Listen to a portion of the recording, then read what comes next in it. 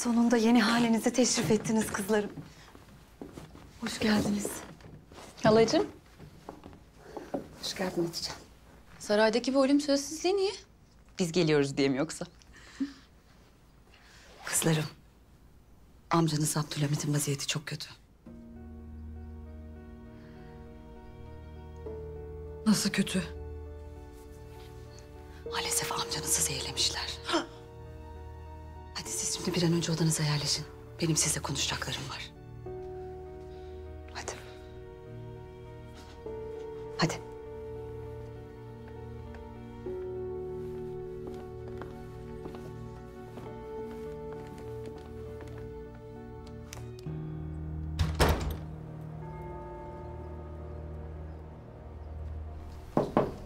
Gel.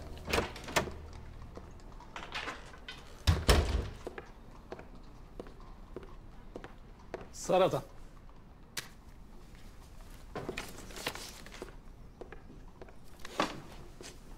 Her neyse bilmek istiyorum Erzil. Lütfen. Sakin ol. Bu Sara'dan gelen bir aşk mektubu değil. İş bu sadece. Bak Erzil, dostluğumuza kaldığı yerden devam edelim. Çünkü her ikimiz de birbirimizin ne istediğini çok iyi biliyoruz. Daha dün beni sırlarımla tehdit eden sen değil miydin? Dostlarımı sırlarıyla sıkıştırırım ama onların sırlarını asla ifşa etmem. Yoksa annene çoktan söylerdim gerçekleri. Hadi söyle. Sara ne yazmış telgrafta? Sultan Abdülhamit zehirlenmiş. Ölüm döşeğindeymiş. İstanbul'a davet ediliyorum. Yahudi Bankası için Mahmut Paşa'nın bize bir hediyesi olacak. Pekala. O vakit müsaadenle ben de seninle geliyorum. Sarayla yıllar süren hesabı kapatacağım.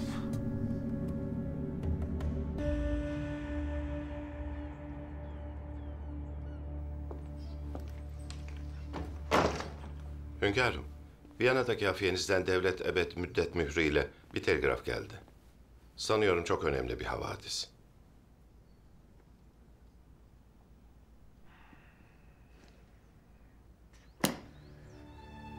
Sır odasına gidelim.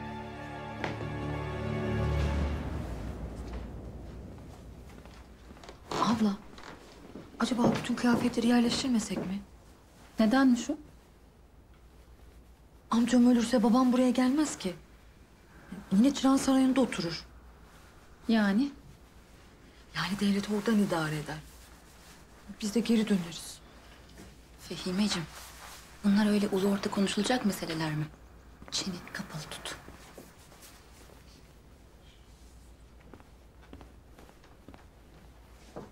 Kızlar, siz hadi dışarı çıkın. Sonra yardım edersiniz.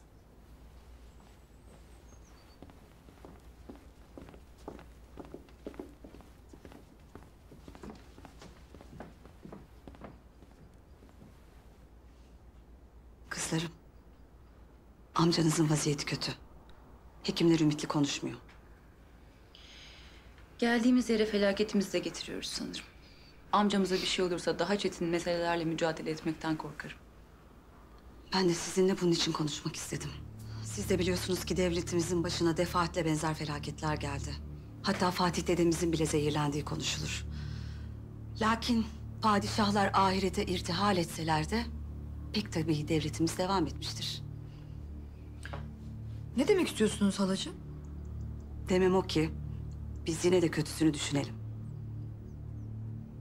Eğer abim Abdülhamit için emri hak vaki olursa taht elbette boş kalmayacak. Biz bu hususta ne yapabiliriz ki? Çok şey Hatice. Çok şey. Babanızı yeniden tahta geçmesi için ikna edebilirsiniz mesela.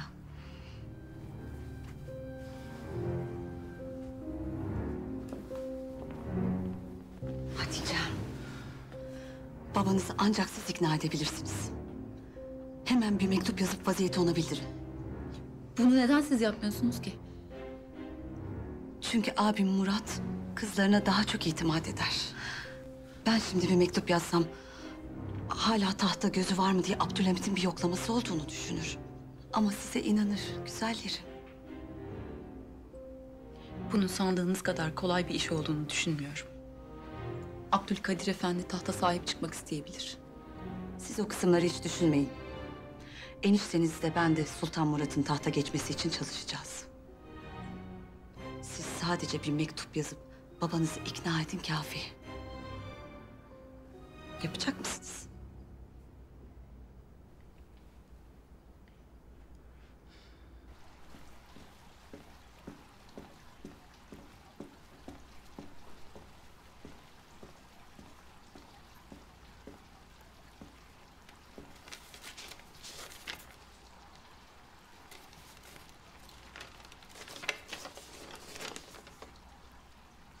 Yahudiler gizli bir kongreyle bir araya geldi. Theodor Herzl namında bir gazeteci kongrede Yahudilerin lideri oldu. Ve beş yıl içinde Yahudi devletinin kurulacağını söyledi. Bir banka kurmak için Yahudi işçileri arasında yardım kampanyası başlatıldı. Toplanan para çok cüz'i ama bu paranın borsa oyunlarıyla katlanacağı konuşuluyor. Sultanım bağışlayın ama ben bu jurnale pek bir mana veremedim. Hünkârımıza sıkıntı veren nedir? Eğer yalnızca bu Siyonist yıldızı çizmiş olsalardı... ...bizi pek alakadar etmezdi. Lakin bu iki çizgi... ...üstteki ve alttaki... ...biri Nil... ...biri Fırat'tır.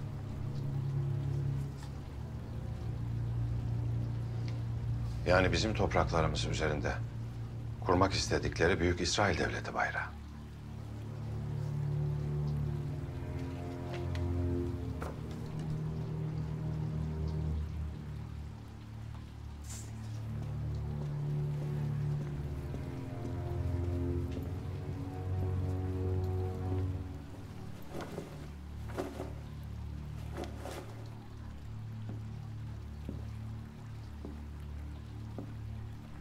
İşte İngilizlerin global monarşi dedikleri yeni dünya nizamı. Hedefleri Osmanlı yıkıp yeni bir dünya nizamı getirmek. İşte bu yeni dünyanın yeni kalesi.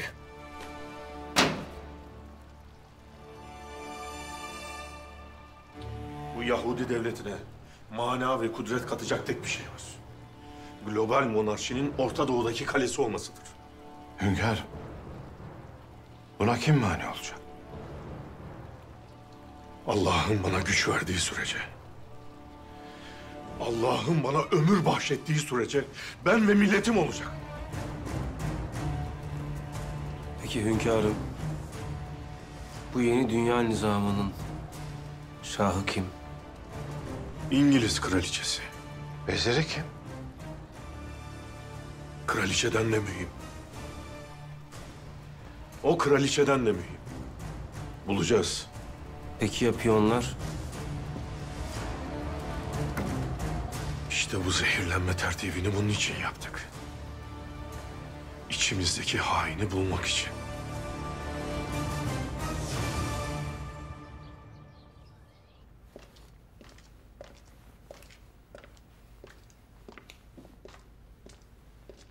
Dinle Hiram Efendi, dinle. Sultan Abdülhamit eli kanlı hafiyelerini peşime taktı.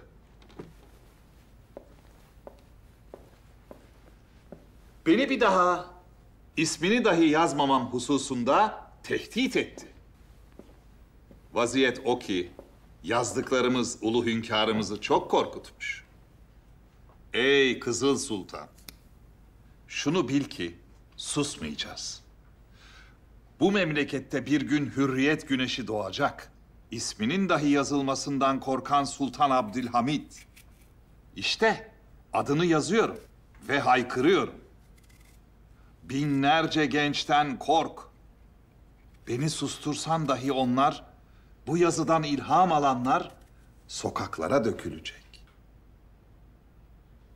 O göğsüne nişan taktığın hafiyelerin, gençlerden merhamet dilenecek. Kork Abdülhamit, Kork.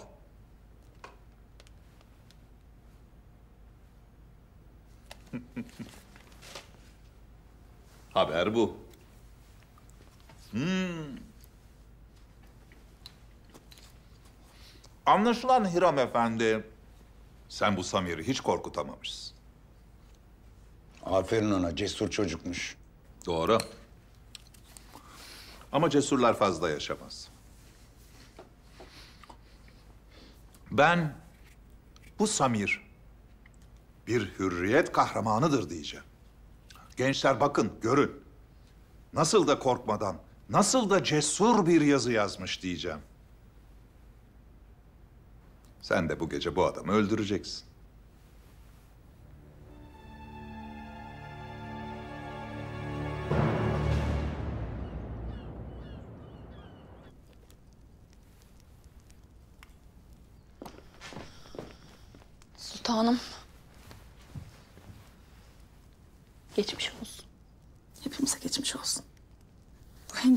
Sizinle alakadar olamadım. Rahatınız yerindedir inşallah. Her şeyimiz tamamdır Naime. Mektup kime? Sana daha evvel de bahsetmiştim. O yakışıklı beye mi yoksa? Cesaretimi toplayıp hislerimi ilan etmeye karar verdim. Damat beyimizin kim olduğunu söylemeyecek misin? Önce beni bir kabul etsin. Sonra herkesle beraber öğrenirsin kim olduğunu. Emredersiniz paşam.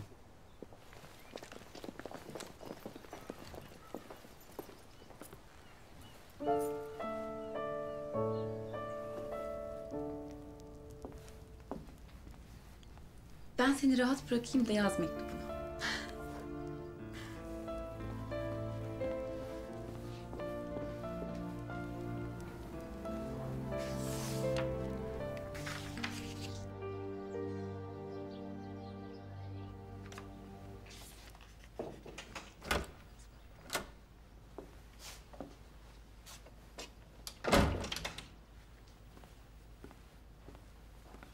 Hayırdır? Gençlere ders vereceğim. İlmimi tazelemem icap eder. Bak, Moskov gavuru Bakunin ne demiş?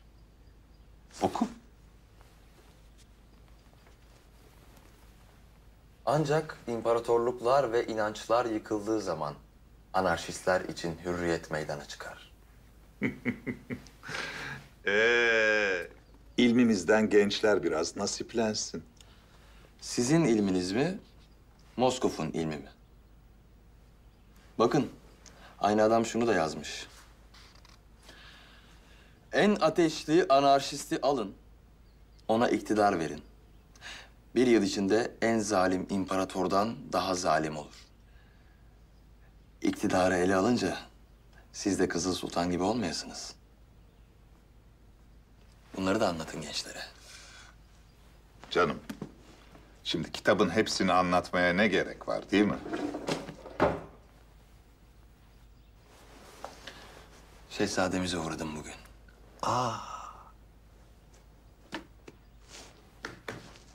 Sebahattin. Benim merhametimi celbeden tek kısım insan kimlerdir bilir misin? Kimlerdir? Yetimler. Şehzade Abdülkadir de çok yakında yetim kalacak. O yüzden üzerine pek fazla varmayalım. Olur mu? Siz yine de yetim diye çok acımayın isterseniz. Şehzade bu işin peşini bırakmamış. Öyle mi? Ne yapmış? Gazinoya davet etti beni. Canı sıkkınmış. Senin üzerinden benimle oyun oynayacak. Evet. Ama ne isteyebilir ki benden? Bunu bu gece senden bu anahtarı isteyecek.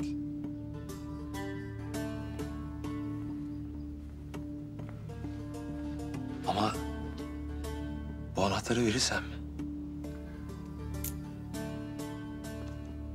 Bu anahtarı verirsen Şehzade Abdülkadir'in sarsılmaz bir itimadını kazanmış olacaksın.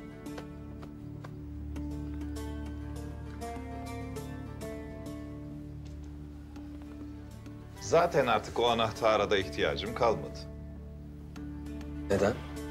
Çünkü annen hususi kasamdaki bıçağı bulmuş ve Abdülhamit'e yollamış. Nasıl olur? Paşam, bıçağı kendi kasanızda mı sakladınız? Canım elbette ki Abdülkadir'in kasasına koymam gerekliydi ama işte bir tembellik, bir boş vermişlik. Yapmışız bir hata. ama annen akıllı kadın. Bıçağı Abdülhamit'e gönderirken bu işin peşine düşülmemesi kaydıyla bir de not yollamış. Zavallı Abdülhamit'in zaten buna vakti yok. Zehir vücuduna yayılıyor. Bıçağın peşinden gidemez. Bak Sebahattin. Bu elindeki anahtar Şehzade Abdülkadir'le aranızdaki sarsılmaz itimat kilidinin anahtarıdır. Ona iyi bak. Merak buyurmayın paşam. Âlâ.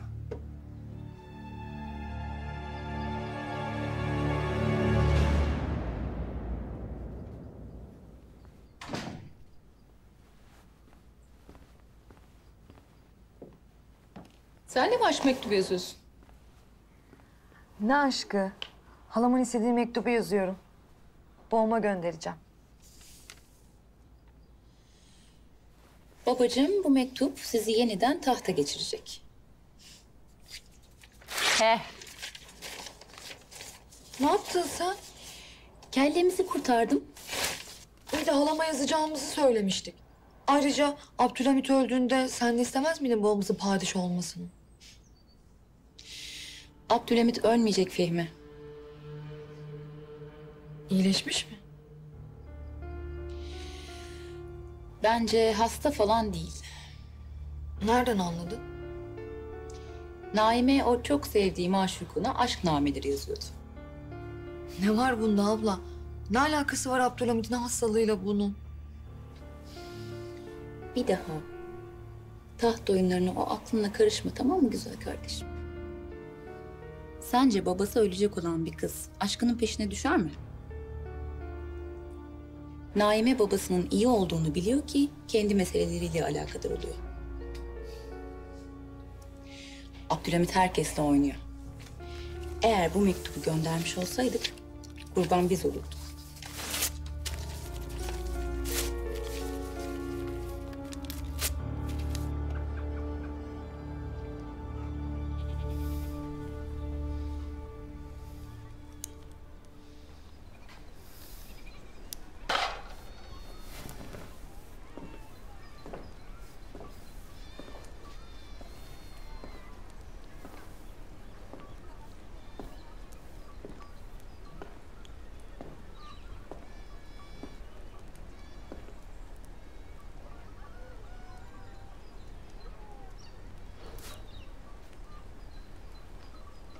Hayırdır Ömer Efendi?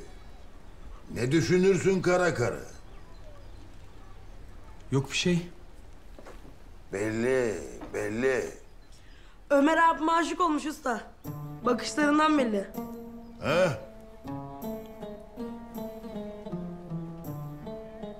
Bir keresinde ben de aşık olmuştum. Adı da...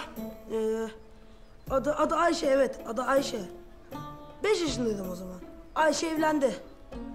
Acısı da ne biliyor musun Ömer abi? Ayşe'nin çeyiz sandığına beni oturtturdular. Ağırım ya, fazla bahşiş koparım diye.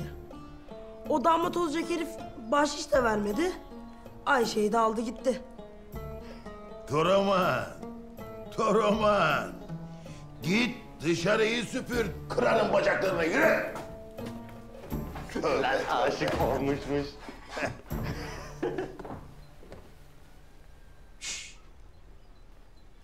Hayırdır? Bir şey oldu yok Asım Usta ya. İşle alakalı. İşle alakalı ha? Ha. Ne oldu? Borsada at yemi hisselerin kıymet mi kaybetti? İşle alakalıymış.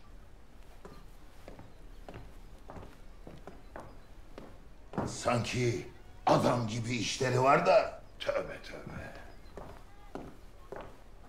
Selamünaleyküm baba. Aleykümselam. Ve aleyküm selam Celal.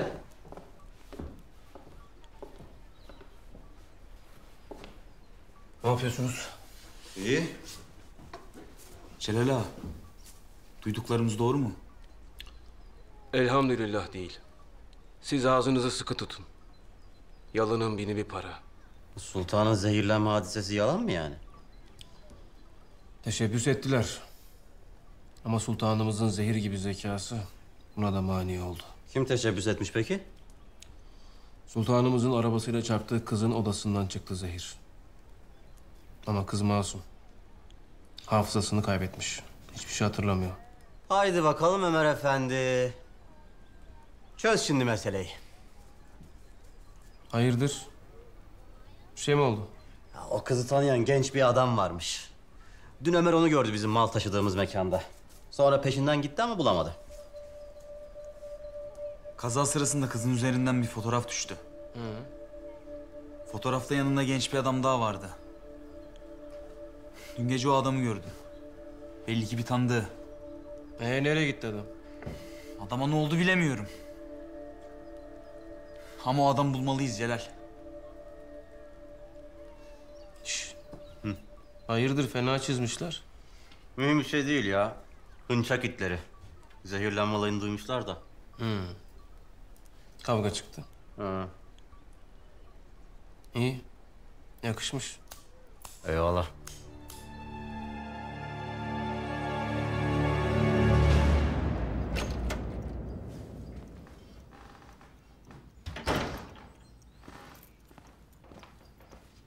Hünkârım, Theodor Herzl'la alakalı jurnal tamamlandı. Tamam olanı bekletmeyelim. Buyurun Tahsin Paşa. Theodor Herzl, Viyana'da yaşayan bir Yahudi sultan. Dini terbiyesini dedesinden almış. Her nedense babasıyla münasebeti sıkıntılı. Ve babası bir yılı aşkındır kayıp. Hmm. Bir gazetesi var. Kongrede başkan seçilmiş. Fakat e, kongre hukuki olmadığı için bu konuda kesin bir malumat yok. Kongre salonu güya gazete için kiralanmış. Yahudi işçilerden 57 bin altın toplamışlar. Ve bu parayı paydat borsasında kıymetlendirip banka kurmayı hedefliyor Theodor Herzl.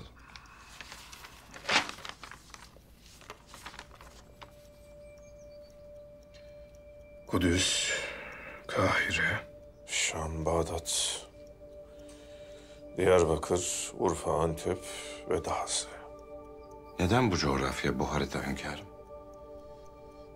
Yahudileri vaat edilmiş topraklar masalına inandırmak için. Paşa. Peki bu rüya gerçekleşir mi? Ben bu rüyayı onlara kabusa çevireceğim. Lakin İslam aleminin uykusu uzun sürerse korkarım bu Müslümanların kabusu olacak.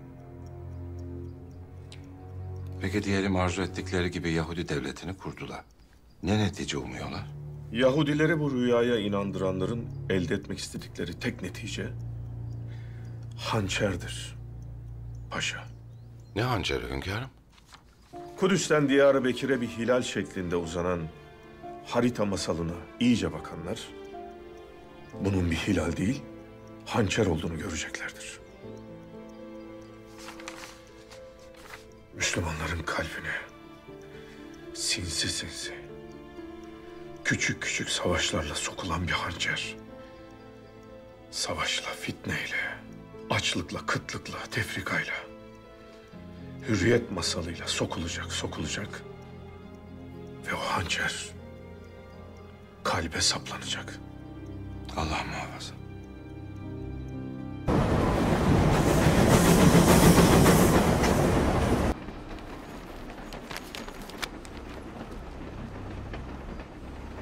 Yıllar evvelki masum delikanlıyı görüyorum. Tüm kalbimle mazimdeyim.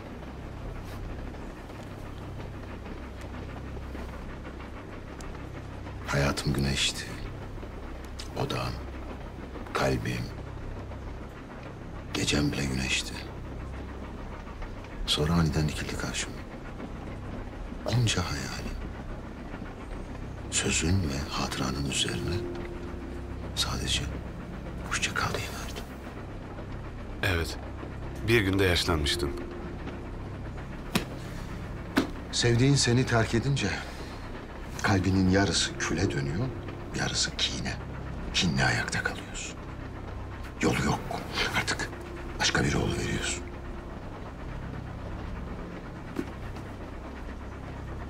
Karını seviyor musun Teo? Başka bir kadını sevmeye cüret edemeyecek kadar karımdan korkuyorum dostum.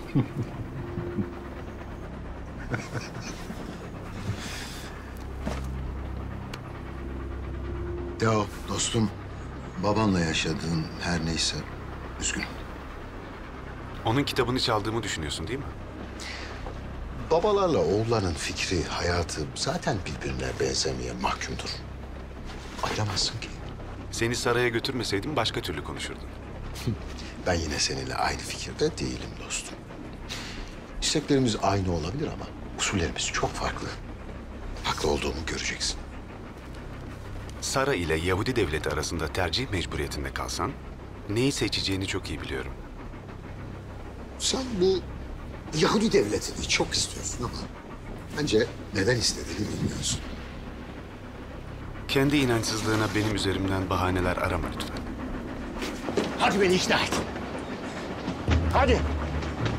Filistin'deki bir Yahudi devletine neden inanayım Teo? İkna et beni.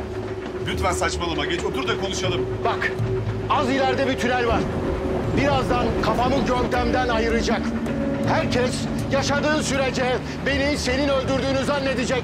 Herkes senden şüphe edecek. Kurtar beni Teo! Yine saçmalıyorsun Emanuel. Otur şuraya da konuşalım. Neden Filistin'de bir Yahudi devleti?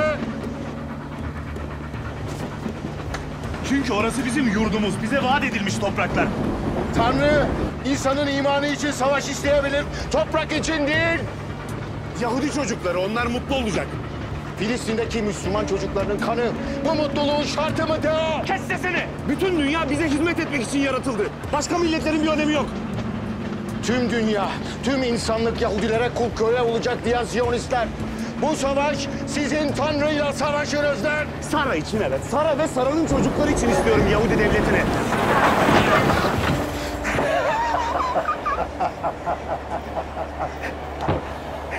İşte hakikat, işte gerçek.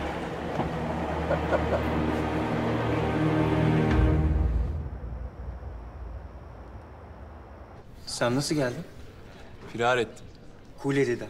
E dönünce sopa yiyeceksin komutandan oğlum. Sen ta Selanik'ten kalktın geldin. Ben şuracıktayım. Paşanın son dersiymiş. Kaçıramazdı. Geldi.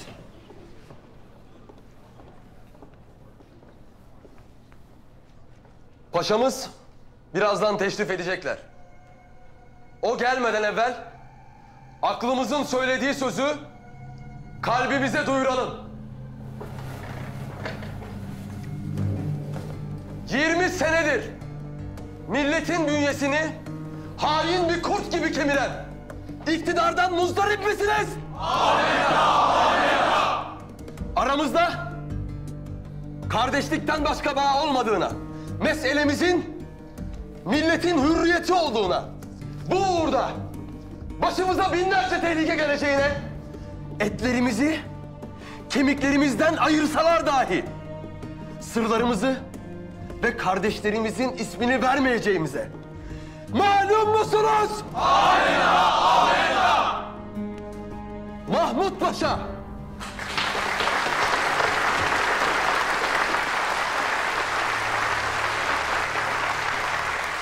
Şehzademizi fazla bekletme.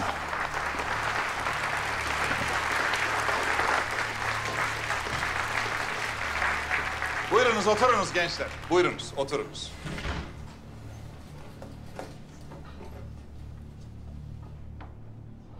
Bu elimde görmüş olduğunuz kitap anarşizmin kurucusu Bakunin Efendi'nin bir kitabı. Okumanızı şiddetle tavsiye ederim. Ne diyor Bakunin Efendi? Aynen şöyle söylüyor gençler. Hürriyetin ortaya çıkması. İşte imparatorluklar yıkıldığı zaman meydana çıkar. Velhasılı kelam. Gençler Bakunin Efendi'yi okuyunuz. Yani bu Bakunin Efendi değerli bir yazardır. Okumanızı tavsiye ediyorum gençler. Bizim kendi hasbi halimize gelecek olur isek. Hepinizle uzun bir vakittir buluşamamıştım. Hepinizi çok özledim. Tek tek. Hepinizi hararetle özledim. Ama ve lakin birazdan anlatacağım ders son dersim olacak. Ama bu son ders sizlerin mezuniyet dersiniz olacak. Sizlere bir yazı okuyacağım. İşte bu yazı. Genç bir yazar kardeşimizin yazmış olduğu bu yazı sizlerin mezuniyeti olacak. O bakımdan dikkatle dinlemenizi rica edeceğim. Ne diyor yazı? Sultan Abdülhamit eli kanlı hafiyelerini peşime taktı. Benim bir daha ismini dahi yazmamam hususunda tehdit etti. Vaziyet o ki yazdıklarımız ulu hünkârımızı çok korkutmuş. Ey Kızıl Sultan, şunu bil ki susmayacağız. Bu memlekette bir gün hürriyet güneşi doğacak. İsminin dahi yazılmasından korkan Sultan Abdülhamit. İşte adını yazıyorum ve haykırıyorum. Binlerce gençten kork. Sizleri kastediyor beyler. Binlerce gençten kork. Genç Osmanlılardan kork. Beni sustursan dahi onlar, bu yazıdan ilham alanlar sokaklara dökülecektir. O göğsüne nişan taktığın hafiyelerin, o gençlerden merhamet dilenecek. Kork Abdülhamit, kork!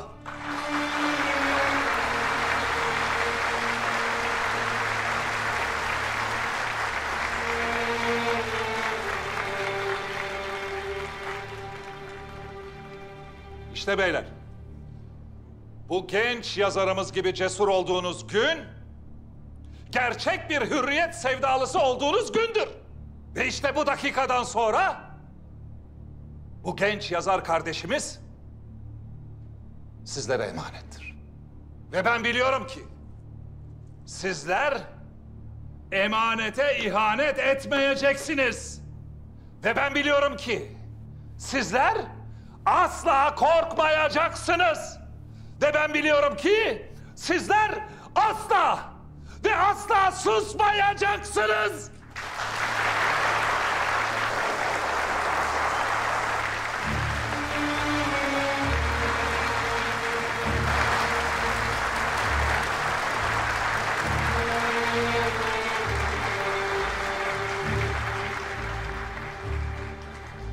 Sevgili gençler, hepinizi sevgiyle selamlıyor ve hepinizi de vazifeye davet ediyorum. Saygılar sunuyorum.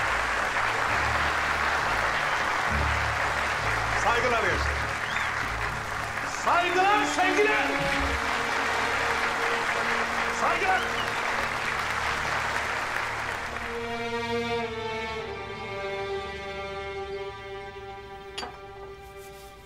Biraz gül yaprağı. Biraz da hatmi çiçeği.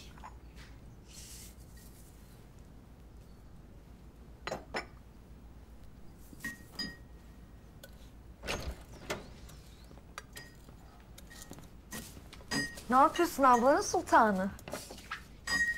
Görmüyor musun?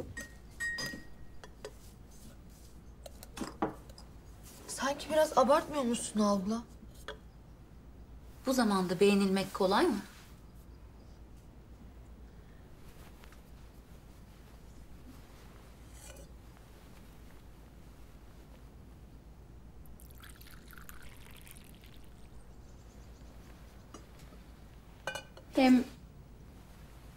Paşam beni pespaya gördü daha evvel. Mesele anlaşıldı. Ee, Evlenince ne yapacaksın abla? Hep böyle boyayla mı gezeceksin? Ah keşke evlensek de hep böyle geçse. O paşa vardı ya. Kemalettin. Bahçede. Kamelya'da. Bir fırsatını bulup karşısına çıkmalıyım. Hadi. Sen de geliyorsun.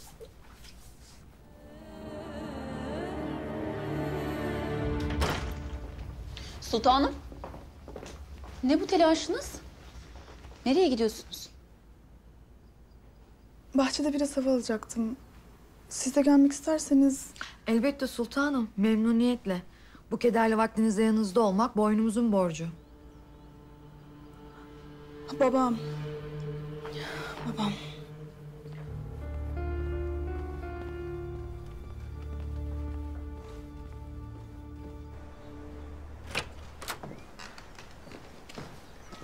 Paşam, Sultanım. tanıştırayım. Amcam Murat Efendi'nin kızları Hatice ve Fehime Sultanlar. Gazi Osman Paşa'nın mahdumu Kemalettin Paşa. Memnun oldum. Ben de. Aa, ne okuyorsunuz?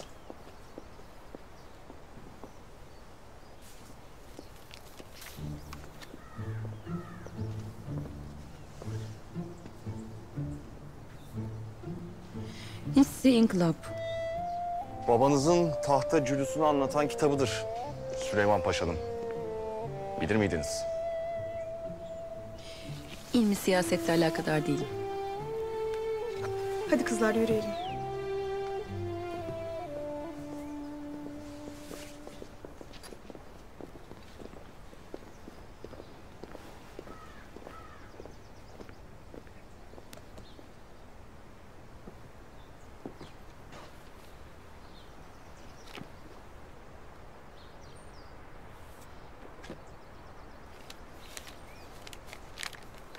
Paşam, saadetinizi arttırmaya talibim. Sizi ilk gördüğüm andan beri kalp kuşumun uçmasından korkuyorum. Cesaretimi mazur görün lakin size açılmasaydım ölürdüm. İmza Sultan Kızı. Hatice.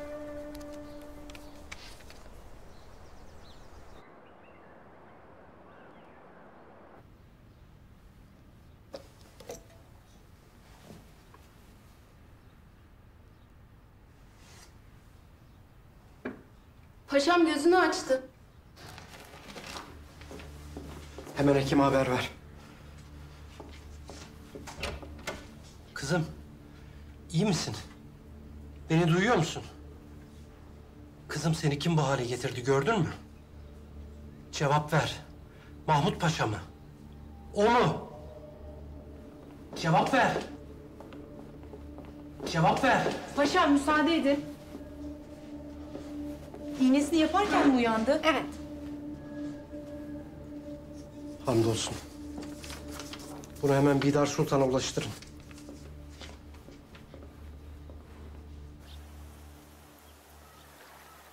Muhterem paşalar. Hünkârımız afiyetle başımıza geçip bize ne yaptınız demeden evvel süratle çalışmalarımıza başlayalım. Haklısınız efendim. Zaten bu tür hassas devirlerde devletin içinde zerrece kadar gevşeklik olsa halk bundan çok büyük şüphe duyuyorlar. Hakkınız var Mahmut Paşa. Hünkârımızın sıhhatiyle alakalı söylentilerin önüne geçmenin tek yolu devlet işlerine hız katmak. Evet efendim. Zaten ben de demir yolu yardım paraları ki zimmetimdedir.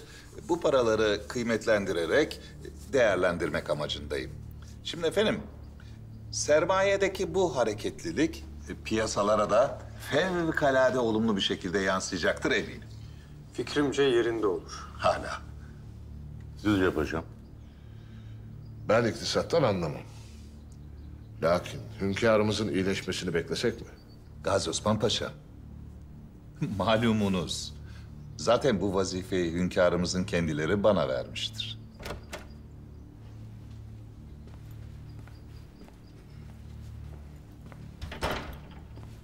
Elimde olmayan sebepten geciktim. Affınıza sığınırım.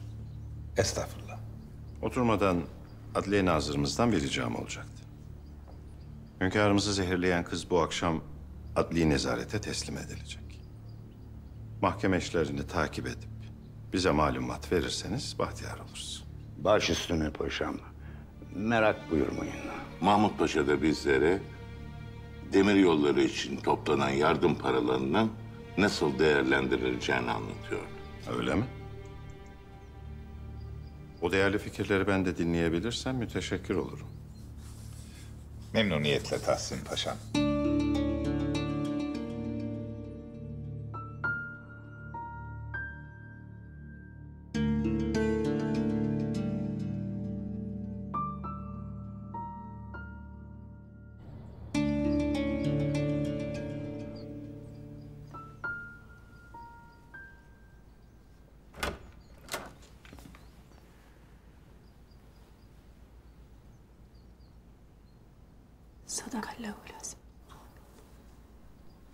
Allah kabul buyursun sultanım. Kestiğim için özür dilerim lakin sizi hünkârımızın odasından çağırıyorlar.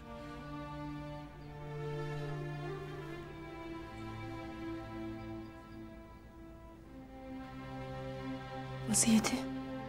Bilmiyorum sultanım.